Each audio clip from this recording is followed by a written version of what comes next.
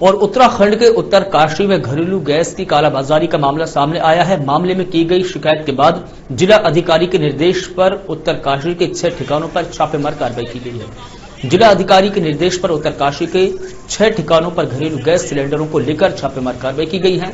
छापेमारी में होटल ढाबा और रेस्टोरेंट संचालकों में खलबली मची हुई है। एक दूसरे को छापे की जानकारी देने के साथ ही इनके द्वारा आनंद फानन में घरेलू सिलेंडर छिपाने की कोशिश की गई। छापेमारी में बड़ी संख्या में घरेलू सिलेंडरों का व्यावसायिक उपयोग होते हुए पाया गया है। जिला पूर्ति अधिकारी श्री संतोष कुमार भट्ट द्वारा बताया गया है कि अगले अलग जगहों से 108 सिलेंडर जब्त किए हैं।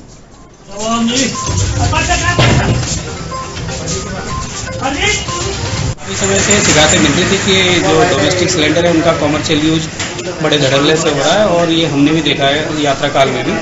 कि डोमेस्टिक सिलेंडर के कॉमर्शियल यूज़ लोग कर रहे थे तो हमने उसमें एक व्यापक छापामारी अभियान हम चला रहे हैं आज। इसमें हमने छह टीमें बनाई हैं और पूरे जनपद में एक साथ हम इसे अंजाम दे रहे हैं, जिसमें एक टीम हमारी मोरी में काम कर रही है, एक कुरोला में, एक बड़कोट में, एक आपकी भटवाड़ी और नैताला में, और एक चिन्यालीस और एक टीम का प्रतिनिधित्व मैं खुद कर रहा हूँ, जो हमारी उत्तरकाशी में भी छापेमारी कर रही है।